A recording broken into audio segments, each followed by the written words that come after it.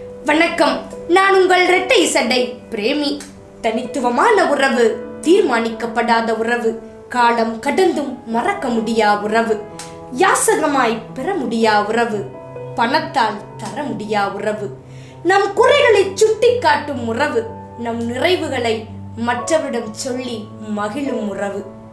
பனை மரத்துக்கு ஒப்பான உறவு அடுத்தவரிடம் நம்மை விட்டு கொடுக்கா உறவு வழிகாட்டும் உறவு சாதி மதம் பார்க்கா உறவு கற்பை போன்ற புனிதமான உறவு நம் ரகசியங்களை காக்கும் உறவு நம்பிக்கை தரும் உறவு.